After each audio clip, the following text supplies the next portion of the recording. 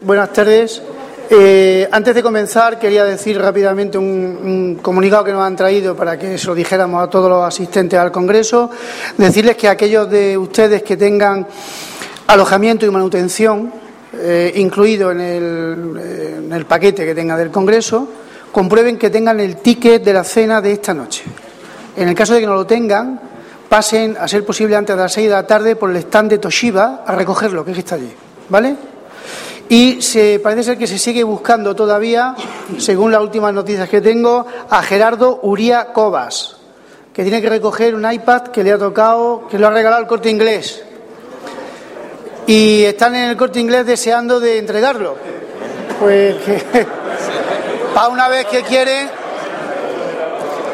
había han sido dos los agraciados, el otro, el otro compañero ha sido José Luis López Molina, pero inteligentemente ya lo ha recogido.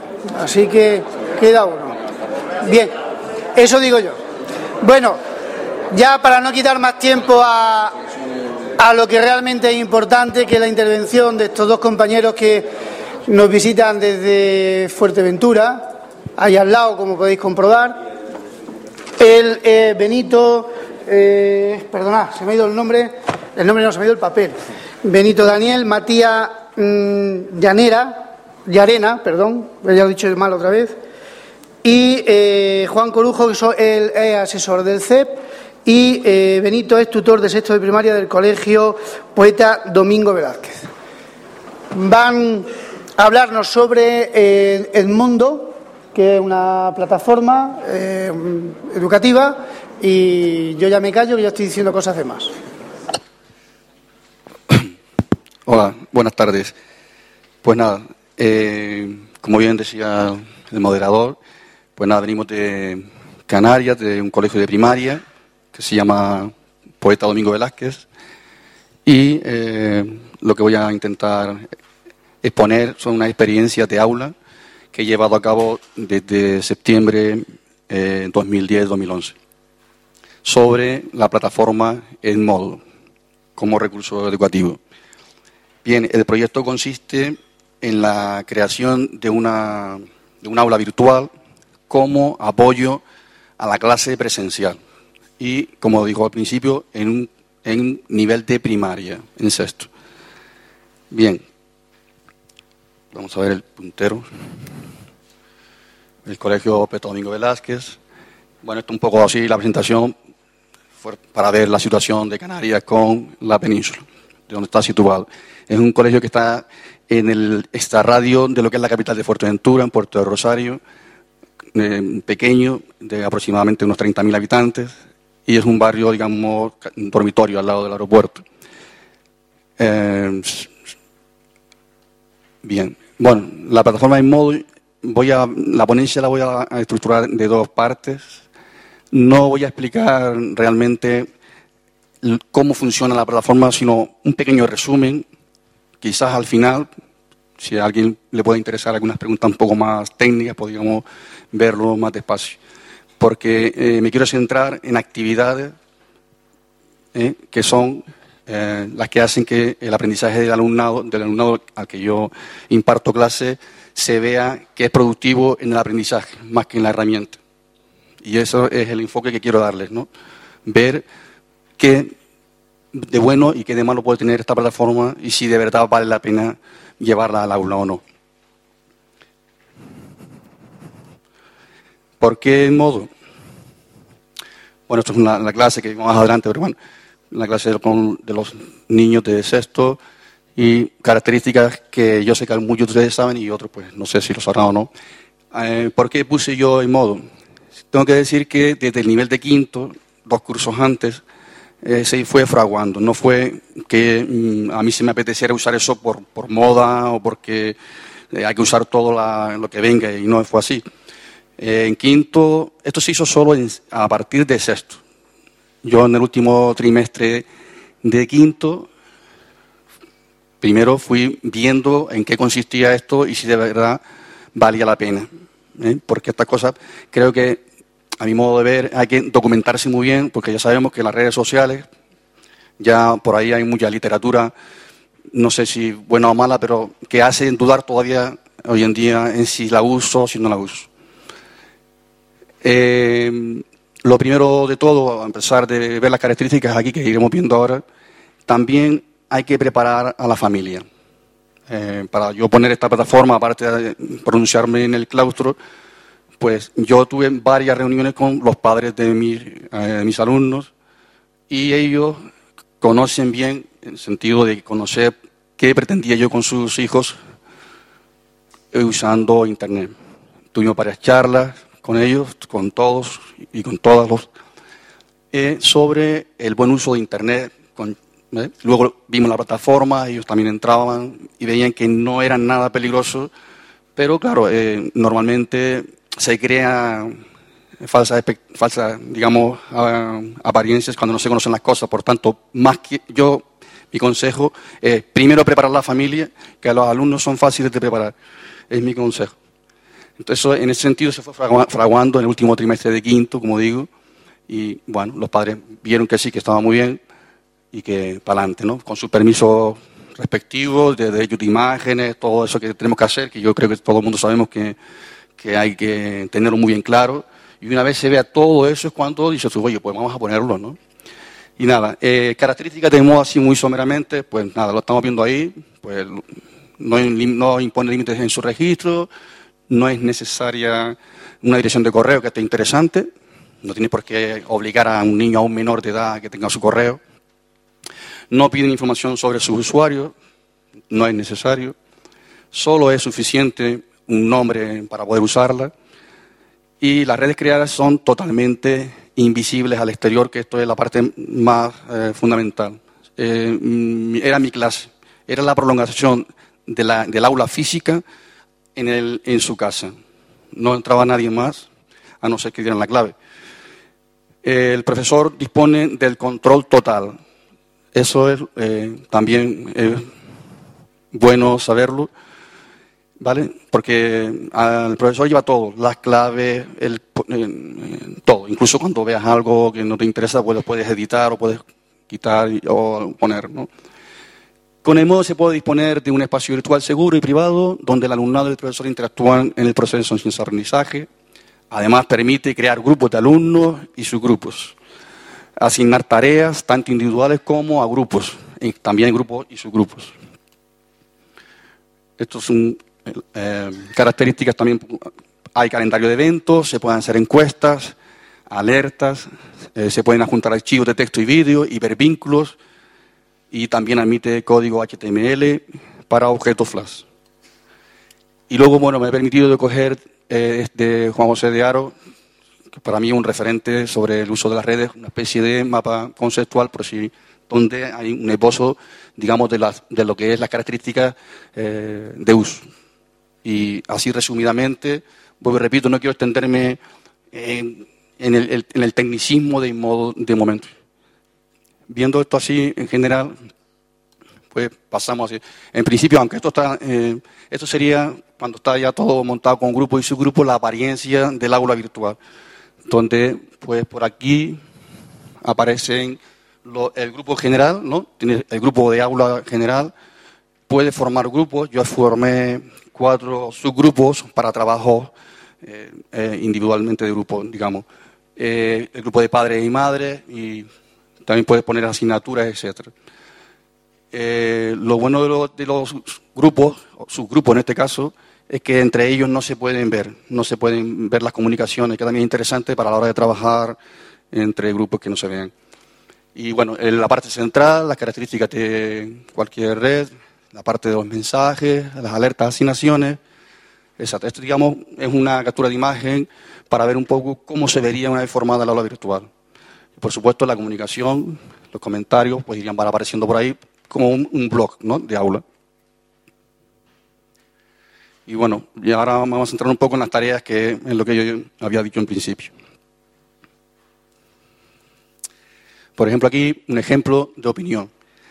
Eh, tareas se pueden hacer todas las que uno crea que pueden ser fructíferas para el proceso de aprendizaje del alumnado. Eh, y dependerá de cada maestro también. Como dije al principio, es un apoyo a la aula presencial.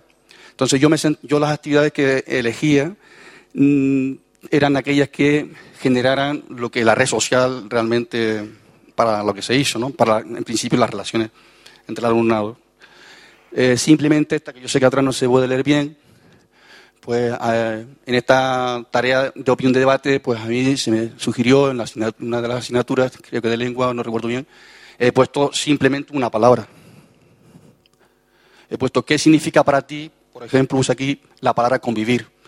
Y quiero recalcar esto que no hay que, esto no es cuestión de ser ni técnico ni tener un arte de buscar qué hago con el alumnado. Simplemente una palabra puede generar, como bien sabemos todos, una cantidad de información valiosa para, para mí como maestro, en cuanto que voy a analizar muchas cosas, solo con una palabra. Eso, ellos desde casa, desde casa, pues van comentando y entre ellos hacen lo realmente lo que es la red social. Hablar entre ellos, opinar en los comentarios. Y se va creando, pues, visto, por ejemplo, con el chico, le responde Aníbal, le responde Jessica, o al revés, van debatiendo Ignacio, Noemí, etcétera. Creo lo que, en principio, la filosofía que yo quería para poner en modo. ¿Eh? La, competencia lingüística es fundamental, y más en las redes sociales. Y esa es la que, en principio, donde yo más he incidido, ¿no? En la competencia lingüística. Porque la digital, por sí sola, ya la tienen casi ellos y la van adquiriendo sin darse cuenta, que es la idea. No es que enseñar, yo a ellos no les enseñé a usar prácticamente la red en modo. Fueron cuatro, fue un día. Porque ya sabemos que muchos de ellos tienen, algunos, sobre todo las chicas, sobre todo en mi clase, puente y demás. Pero eh, lo verdaderamente importante de esto es saber llevarlos, orientarles al buen uso de las redes sociales. Y en este caso, esta actividad, muy bien en cuanto a la competencia, la relación y demás. ¿Qué más se pueden hacer? Otro tipo de actividades. Puedes asignar una tarea en el tiempo. Por ejemplo, aquí he puesto, fue ah, empezando el curso, para que vean, he puesto un poco las primeras, aquí, por ejemplo, en septiembre de 2010, y yo monté el aula virtual, creo que fue el 10, para hacernos una idea que no es complicado, para animarles.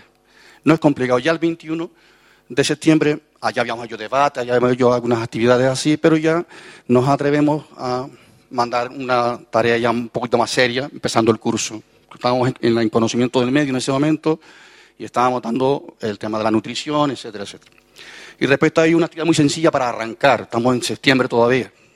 Y he puesto, pues nada, pues lo típico, pues aquí le mandas la asignación con la definición de qué tienen que hacer y luego cómo lo tienen, por ejemplo. ¿no? Se me olvidaba decirles también que este curso en quinto, ellos manejan ciertas herramientas. Claro, por eso yo decía al principio que lo fui fraguando en quinto. no teníamos los portátiles en el anterior, creo que llegaron en mayo.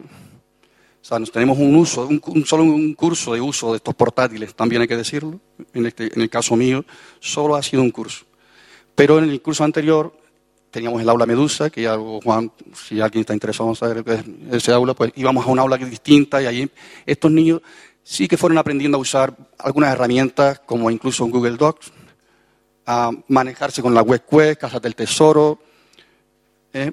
Y lo típico, y luego el Office también, o sea, el Impress, el, también el PowerPoint, tanto libre como de autor, los software. Entonces ellos sí que me dio pie a mí al siguiente curso a poder darle carácter de aula virtual. Cuando ya un alumnado maneja ese tipo de herramientas, sí que vas a ver, las conclusiones finales son muy buenas. Para mí al menos lo han sido y para, sobre todo para ellos. Bueno, pues aquí ellos se envían la asignación, se les da un tiempo en el calendario y ellos pues lo presentan aquí. Sí, todas las actividades se, presentan luego en la pizarra digital también. ¿eh?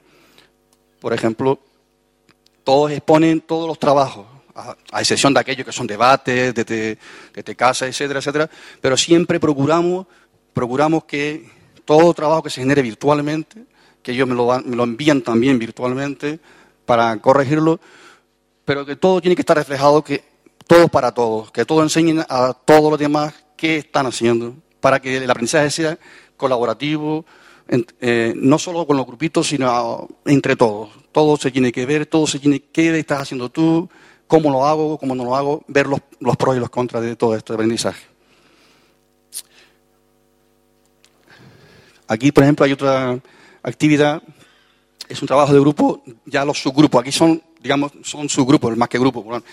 Es una actividad que se envía para que ya los subgrupos asignados trabajen en una semana, en 15 días, dependerá un poco del trabajo que tú les envíes. Ya más adelante, que hemos ido avanzando, y aquí, por ejemplo, pues, no se ve muy bien, la verdad, la. Eh, eh, podré leerlo aquí en pantalla. No sé qué actividad es esta, pero bueno, sé que no se ve muy bien. Es una actividad, digamos, de grupo donde ellos, lo que quiero resaltar aquí, aunque no se vea, es que en cada subgrupo, que estaban formados por cuatro o cinco alumnos, pues se, ve que entre ellos, entre casa y casa, se están eh, haciendo el trabajo, cada uno pone su, eh, su granito de arena desde casa. ¿Vale? Y es lo que no se ve bien aquí, pero bueno, se van, eh, eso, se van reflejando y conjuntando el trabajo, lo van conjuntando.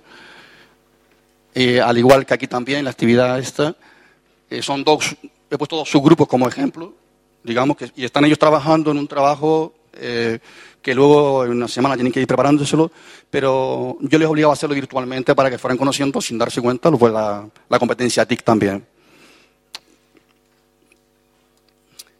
Bueno, todas esas actividades que estábamos viendo, eh, puesto esto fue ya a principio de curso, pues se van reflejando en el calendario que al principio decía las características, pues a ellos les llega también eh, el calendario que, de actividades. Y ellos tienen un, en su página que ellos les sale un poquito diferente a la del profesor, pues les va a aparecer el tipo de actividad y le va a salir una especie de alarma a ellos, ¿no? Que tienen un tiempo determinado para presentar ese trabajo. Si no, se quedan fuera, no se evalúan. Aunque no por ello no dejan de presentarlo, porque la obligación es seguir trabajando en ello. Pero bueno, nunca se dio caso de no presentarlo, pero bueno, que es importante el calendario porque ellos iban acostumbrando a tener su agenda, digamos, particular de trabajo. Y eso, pues me parece también una herramienta como de compromiso desde primaria, al menos. Bueno, aquí se ven varios. Aquí aparece, bueno, aquí es la de la pirámide, como digo, y aquí también algunas más. Se cogí un poquito de ejemplo de principio de curso, por eso salen poquitas, ¿no? Y bueno, cuando yo, eh, cuando yo recibo eh, su trabajo virtualmente, pues ahí existe la posibilidad de calificación. Entonces, bueno, pues yo lo, lo visualizo, lo analizo y luego eh, la nota, yo intento que la nota no sea, estas notas, bueno, en algunas áreas yo no hago exámenes tradicionales, lógicamente, porque esa es otra cosa que sería otro debate, porque ya que también usamos las tecnologías, que creo que el gran debate es el tema de cómo evaluar, ¿no? Que esa es otra historia y luego no se puede evaluar. Por tanto, yo no hago exámenes. Eh, sobre todo, asignaturas, todas las asignaturas se prestan a ello. Quizás unas más que otras, en este caso, conocimiento del medio, pienso que hay más que otras, ¿no? Pero vamos, en general, todas las áreas se prestan. Creo que habría que cambiar un poquito, eh, o hablar, o debatirlo, o mejorarlo. En este caso, yo estoy todavía aprendiendo a cómo evaluar, no de manera tradicional, porque entonces no estamos haciendo nada. Estas notas son un poquito por ponerlas, porque ellos también están empezando, solo es un curso, repito, y les anima. Les anima y pongo el 8, pongo el 7, el 6. Pero que no son notas, digamos, de esta pregunta un 1, esta no sé qué, en un cuaderno. Es un conjunto de todo, un conjunto que analizamos entre toda la clase, incluso ellos se ponen la nota, no la pongo yo. Estas notas son puestas por ellos, con mi orientación, por supuesto, pero son puestas por ellos. Los grupos se, se exponen y se evalúan ellos a sí mismos y al resto también. Y estamos, pues ya que estar todo, media mañana, estamos media mañana, porque siempre dedicamos cada 15 días a debatir si lo estás haciendo bien, si no lo estás haciendo bien, y entre ellos. Siempre que hay un coordinador de grupo, que es el que hace también la PST, compromiso con el resto para que se cumplan las cosas. Pero bueno, que la nota, aunque aquí se ve de manera tradicional, pero no es la nota, digamos, que tradicionalmente se pone en un examen. Es la competencia digital, la lingüística, la relacional, la social, eh, todo se evalúa. Y eso, pues al final, uno, además nos trata de decirlo, uno como maestro y todos ustedes también, pues bueno, vamos viendo la evolución y no tengo que hacer ningún examen para decir un 10 o un 6 o nada. Pero ellos se animan, se animan viendo la numeración, pues le ponemos la numeración de principio. Eh, sí es verdad que no le ponen mucha importancia a eso. Bueno, son asignaciones que, o mensajes, ¿para qué sirve el modo? Bueno, pues si hay una eventualidad, pues, pues se le anuncia y, poco más, ¿no? Eh, y lo que decíamos, bueno, pues si suspendo un examen, porque también sirve para eso, para comunicar, cosas que me surgen a lo mejor en un momento determinado, pues que sirve también para, ese, para enviar mensajes. Lo que hablamos también, mensajes con enlaces de apoyo a temas. Lógicamente ellos estudian en casa y procuramos buscarle aquellas herramientas que le puedan servir de apoyo al estudio. Bueno, pues lo tienen en casa. Lo tienen en casa, por ejemplo, aquí cuando dábamos el tema de divisiones decimales, las multiplicaciones, pues bueno, aparte de la clase, pues ellos tienen, siempre procurábamos desde, desde enlaces que tenemos allí en, Medusa, ¿no? pues ponerle herramientas para que también ellos les sirviera de apoyo en casa a la hora de hacer actividades. Son actividades interactivas, son páginas interactivas, basadas en juego, ya parece que es importante que ellos se sientan a gusto haciendo las actividades. Se procuraba siempre buscar actividades que a ellos no les supiera una carga extra y que al mismo tiempo estuviesen aprendiendo. Bueno, la posibilidad de enviarlo, pues muy bien. Se envían a través de enlaces, de imágenes, o incluso de vídeos, de YouTube. También había clases con YouTube, depende, pues con vídeo. Bien. Eh, una cosa bastante interesante. Porque claro, en modo, si se dan cuenta, yo uso un modo, pero es, el caballo, ¿no? Digamos, es el vehículo. Pero lo que se puede hacer con el modo son muchísimas cosas muy buenas. Y una de ellas son las web también, o las casas del tesoro. Yo he puesto puntos suspensivos porque puse web casas del tesoro, etcétera, ¿no? O las mini quests, etcétera. Pero para mí me ha resultado, como experiencia de aula, una herramienta, ya no solo en modo, porque ya digo, importantísimo que le llegue a casa, esa es la herramienta, el vehículo principal, pero para mí esta también es una herramienta muy buena porque eh, logras en el alumno el trabajar en grupo, ya digo, la indagación en los temas. Eh, yo, en los años que llevo dando clase en el área, por ejemplo, de conocimiento del medio, me he dado cuenta que me tengo que callar más. Yo me he dado cuenta este año que son los alumnos los que tienen que hablar. Y a través de la web me he dado cuenta que se puede lograr. Eh, yo hablo de mí y creo que hablamos demasiado en clase, o yo hablo demasiado en clase, y están cansados. Yo me he dado cuenta que en esto, en todos los temas, hacíamos web Solamente el sentirse ellos importante, de trabajar una tarea guiada, pero ella por ellos, investigándolo a ellos, con la enciclopedia eh, de la biblioteca en papel, o las virtuales, que hay montones, pero ellos sí que hacían este trabajo de la introducción, las tareas, los grupos, y luego iban y me lo, explicaban a mí ellos. Es más, en este colegio ellos explicaban también a otros, salíamos del aula a otros niveles para que ellos explicaran la clase de su tarea. Y esta herramienta también es fundamental dentro del modo. Muy buena. A nivel educativo me parece muy bien. Bueno, otra cosa. Los padres, cuando al principio los reuní, eso es un pequeño resumen, hay más. Eh, estaban contentos y los alumnos no en septiembre cuando les hablé de que ya no hay de culpa de que se me olvidó el libro en clase. Y ellos, recuerdo muy bien que me lo decían, ah, todo el mundo, y además protestaban muchos de ellos. Siempre hay dos o tres en clase que son los más remolones, como en todo sitio. Desde que ya yo les dije que ya el libro, sobre todo el libro de los principales libros, tanto el de matemáticas como el de lengua, como el de icono, lo van a ver en casa. Y si se te olvidó, yo les, les envío, aparte de todos los días les enviaba para que tuviesen eh, las actividades que, de libro también, pues las ponía en el modo y ellos pues tenían que verlo. Por lo tanto, se acabó este año pasado, no podían pedir ellos, ay, que se me dio el libro, profe. No lo podían decir, porque lo tienen virtualmente en casa también. Por tanto, es una ayuda también, aparte de esta anécdota, pero no deja de ser una ayuda también. Una ayuda. Bien. Eh, Asignaciones. Pues las asignaciones son tareas que ya comenté un poco al principio. Una herramienta que trabajo mucho, yo decía al principio, es el tema del cuento. Cuento y casi todos ellos libres, porque me interesa su expresión, no la de otros. Y trabajamos mucho, tenemos talleres de cuentos que ellos escriben, porque no hay que dejar de escribir de momento. En un futuro seguro que no, pero seguimos escribiendo también. Ellos escriben cuentos pero encima lo exponen y lo dramatizan en clase también. Vuelvo y repito que también la clase, yo dije al principio que es un apoyo a la clase presencial, pero al mismo tiempo manejan eh, virtualidades. Bien, eh, formulario. Yo, ellos también, claro, como dije al principio en quinto, no es que manejen Google Doc, no manejan Google Doc, pero sí saben eh, ir por ahí, entonces hay una herramienta muy buena eh, de la escritura colaborativa. Y Google Docs es una herramienta que yo uso mucho a, nivel particular, de mi profesión. Con de esto no le enseño esto Google Docs, pero es una herramienta que para sumársela un modo fundamental. Escribir colaborativamente, debatir, hacer un cuento entre los 18 de la clase y verlo es una maravilla. Porque te das cuenta de, cosas eh, muy, tremendas de, estos niños de estas edades. De, hablamos de sexto de primaria.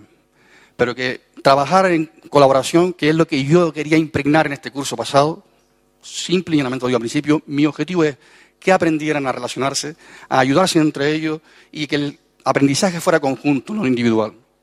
Y estas herramientas son las que yo he ido buscando, las que se prestan a ello. Bien, los formularios en Google Docs se los enviaba, ellos lo hacían y eran lecturas comprensivas, también podían ser lecturas comprensivas con preguntas debajo, con preguntas que pueden ser en grupo o individuales también. Y ahí pues, analizamos la competencia lingüística en todos sus aspectos, expresión escrita, comunicación, todo. Y la web, como yo digo, también no solo en conocimiento del medio, sino también en matemática y en lengua. Eh, Internet está llena de ellas, que si no se las saben fabricar, pues se puede buscar que hay muchísimo adaptarlas. Y hoy en día hay montones a la, clase presencial, hay muchísimos compañeros que están dedicando su tiempo a hacer un montón de tareas, sobre todo desde el punto de vista de eh, colaboración entre ellos. Bien, aquí, por ejemplo, tenemos el cuento. Esto, la isla de Lobos, fue llevamos la clase a un islote, no sé lo que, hay, que conozcan Fuerteventura, tenemos en la costa, en la costa norte, separado de, de la costa norte, un pequeño islote que se llama la Isla de Lobos, y una de las actividades fue llevarlos allí, coger el barquito, llevarlos allí. Nos fabricamos el cuadernillo de campo eh, y había que trabajar in situ. Fuimos a trabajar, sacamos la clase allí. Para ellos eso, salir fuera con el cuaderno de campo, eh, recoger datos de las aves, de las marinas, de las aves que hay también, las aves y tanto en el mar como en tierra, de los peces, y el que ellos elaboraran eso, que llegaran a su casa, que se lo trabajaran en grupo, y me lo explicaran luego a mí, ellos parecían que eran los profesores. Encantadísimo. creo que estas herramientas son, desde mi punto de vista, y mi poca experiencia que, llevo ahí, muy buenas. Eh, viajeros al tren también. si se dan cuenta, no son actividades del otro mundo. es una actividad de escribir. Si tú te montas en un tren, ¿qué haces en el tren? ¿A dónde vas? Y cuéntame. Pero colaborativamente. Todo con Google Doc y enviarlo. Eh, y así, para no cansarles más, porque podemos estar aquí hablando de actividades que no la idea. La idea que espero impregnar es esa, ¿no? Buscar herramientas que el alumno, su aprendizaje casi lo hagan ellos. Casi lo hagan ellos con nuestra orientación, por supuesto. Y esas son. Podría estar hablando aquí de actividades muchísimas, pero no, no creo que sea el caso, sino la idea es, desde mi experiencia con esta herramienta, muy buena. Miedo a usarla, no creo que haya en esta herramienta. Está, se hizo en su día, como bien saben muchos de ustedes, en, dos profesores californianos, y la han adaptado a eso, a niveles con niños menores de edad y es la experiencia que tengo. Yo no sé más arriba, pero en primaria, en este último año ha sido una experiencia muy buena. Los padres muy bien también, dándoselas a conocer, y no tiene, esta al menos no tiene ningún peligro cuando tú tienes el control para ello. Y esa es la idea, la idea como apoyo al aula, y en fin, les invito a que al menos, si ya lo saben bien y si no, probarla, porque he visto mm, que han aprendido más que cuando yo estoy allí dándole a la lengua una hora he visto que aprenden más. Eh, mi, mi, conclusión final es esa, y es la que a mí me vale, y es la por, la que yo utilizo las tecnologías. Buena herramienta, pero sí es verdad que hay que documentarse, trabajarlas primero y ver si de verdad tiene un sentido pedagógico. Eso es fundamental. Seamos nosotros analistas de eso. Y no hay que ser técnico. Yo no soy técnico en informática. Y la idea es, de este congreso se supone, por las conferencias que me he visto por ahí, impregnar eso en el profesorado. Yo creo que miedo ya poco, pienso. Solo es, y por tampoco lanzarse a la piscina, porque puede que no haya agua. Es decir, documentarse, documentarse, documentarse, ver lo bueno que es. Para mí, mi experiencia de hoy es, como conclusión, y que la voy a seguir usando, es muy buena. En cuanto que he visto que aprenden. Y nada más.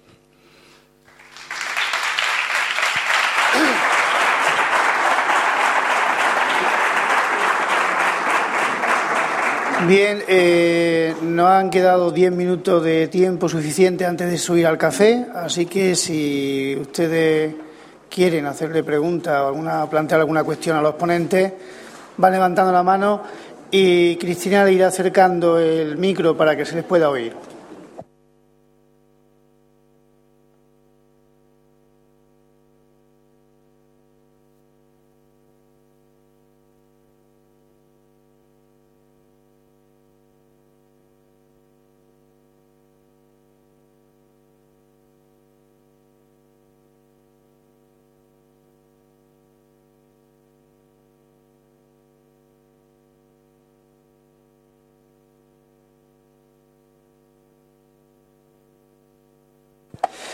Bien, pues parece que ha quedado todo perfectamente claro. Pues tomando café nos vemos. Muchísimas gracias a todos y hasta dentro de media hora.